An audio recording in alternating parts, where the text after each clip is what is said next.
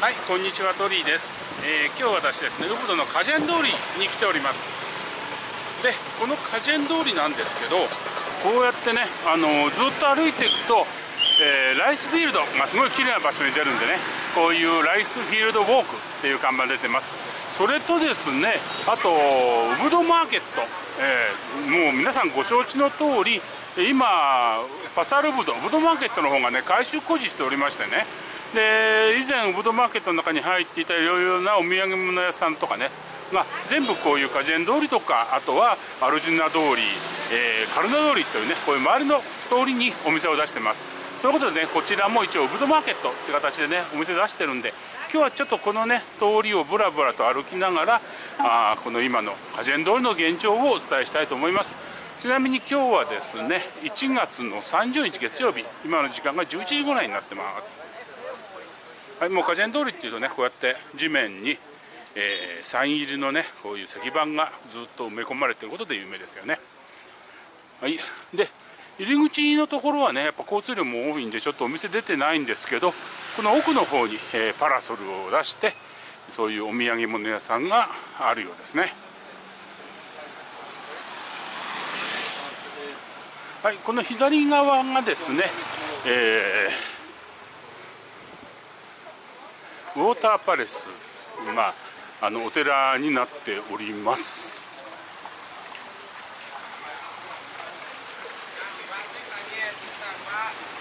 はい、本当あの今ね、ウブドのパサールが改修工事中ということでね、お土産屋さんがこうやって周りの路地にお店出してるんですけど、なんかこっちの方はね、観光客にとって雰囲気がいい？って感じなんでね、あのパサールができてもうこういうお土産屋さん残しといた方がいいんじゃないかなと。じゃあパサールの中何入るのってことになるんですけどね。はいそんな感じがします。はいということで、ね、ここからお土産屋さんがいろいろ並んでる形ですね。はい。まあお土産って言ってもねあのもうごくごく一般的なこういう衣類編み物関係ですね。こちらはアクセサリー関係こういう、ね、ものとかこちらも服ですね。という関係、はい、あとはこういう木工製品ですね。そして帽子サングラス時計。でここもまた服屋さん。なかなかねあの洒落たデザインの服もあるんで、はい、ここなんかこういうお面。こんなお面とか売ってます、はい、ここは本当本当お土産物って感じですね。こういうガラスの瓶。はいこれなんか結構ね昔流行りましたね、はい、他にもお面とかあのモザイクのお皿とかあります。あここはここレンタサイクルやってるんですね。あここレンタサイクルなんだ。あそういうわけじゃ。レンタサイクルじゃなくてなんか自転車のツアーをやるところですね。はい。帽子がある、はい、ここはここはなんかね あのミニマートっていうかねコンビニみたいなお店でその前にもこうやってお土産がたくさん並んでます。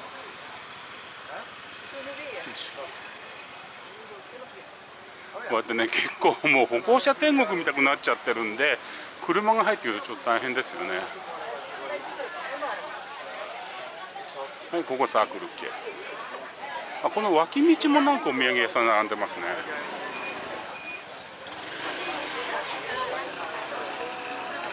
カバン屋さんとかもうこっから先はねちょっと車通れないんじゃないかな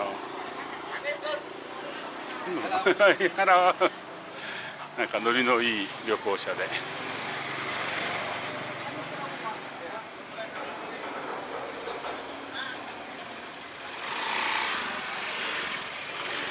ここね普通の人も住んでるんで結構ね大変ですよ。みんなこういうとこバイク置いて今日なんかあんのかな、えー、宗教行事は何かあるかもしれないですね。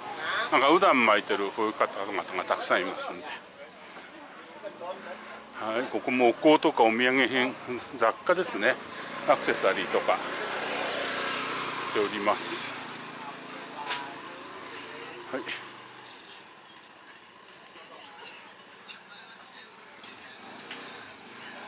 こちらもこういう木彫りの商品のあこれナイフですね。包丁関係。ハロー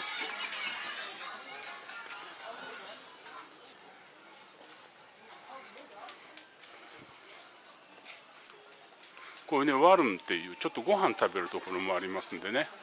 あの結構ここブラブラ歩きながら見て回るの面白いかもしれないですね。あワンちゃん。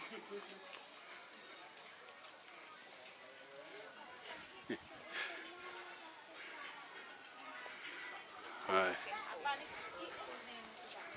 あいい風が吹いて。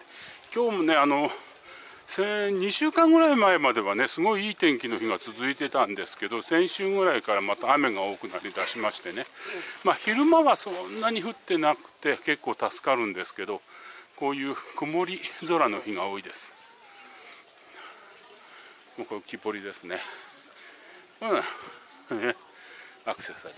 アクセサリーなのかな？これちょっといろんなところにキーホルダーとか飾りに使えるようなものですね。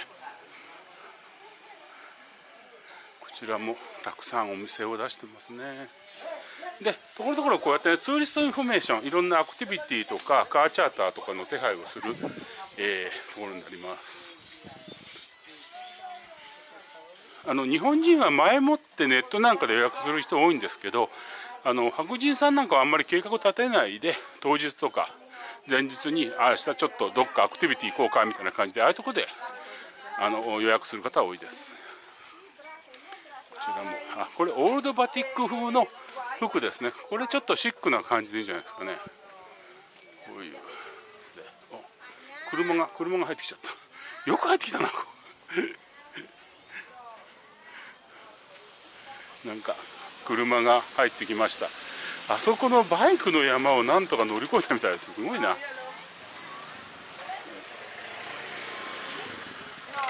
うこういう狭いところを車が まあ生活道路ですからね。車通るのはしょうがないですよね。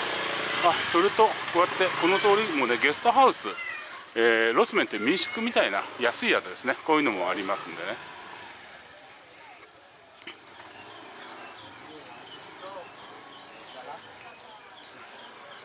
あアタバッグ売ってるねここでは。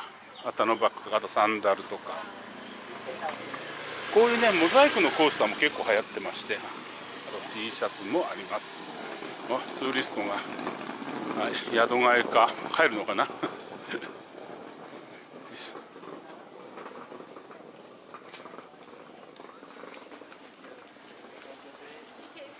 はい、こうやっていろんなお土産もありますけどね。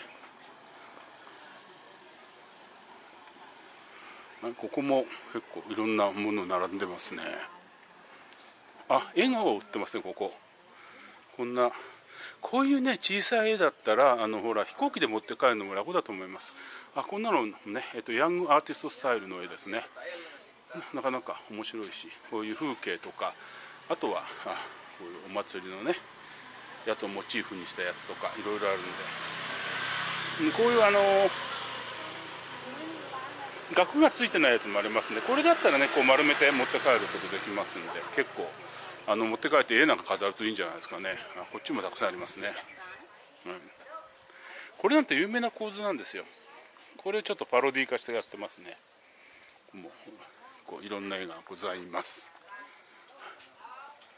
はいもう有名なビンタン T シャツとか、はい、たくさんあります。よいしょ。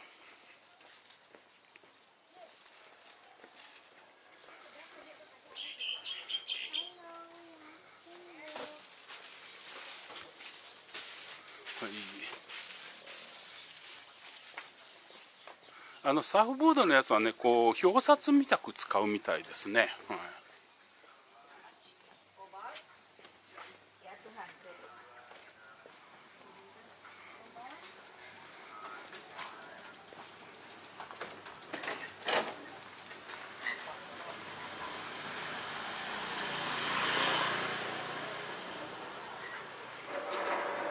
わまだこっちもあここまでかな。ここら辺りまでかな。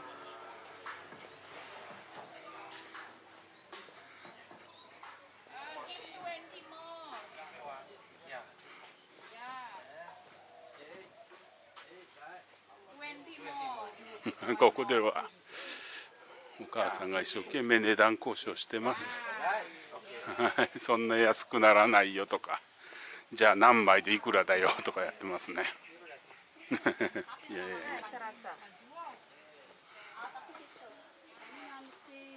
はい。大体この辺りまでですかねお土産屋さんははい、でここから先はですねずっとちょっと谷みたいなところを通っていくとあのライスフィールド田んぼがずっと広がる非常に気持ちのいい散歩道になりますのでねまたそちらの様子は別動画でもまた紹介したいと思います。はいということでね今日はオブドのカジェン通りをラヤオブド通りの入り口からずっと歩いてきました。でこの通りはね先ほど説明したようにもっとずっと奥の方行くと田んぼが広がるねいい散歩道になります。で今はあのここの通りね、えパサールウブドウブド市場が改修してますのでその中に入ったお土産屋さんが通りにずっとお店を並べてるという状況でございます。はい。で、えーなかなかねこう歩きながらお土産ブラブラ見れるんでね散歩があったらここ来ても面白いかと思います。はいということでね今回の動画は以上とさせていただきます。この動画が面白かったよためになったよということでしたらグッドボタン高評価それとチャンネル登録をお願いいたします。Twitter、Facebook、SNS でも最新情報をアップしておりますのでこちらのフォローもお待ちしております。では次の動画でお会いいたしましょう。さよなら。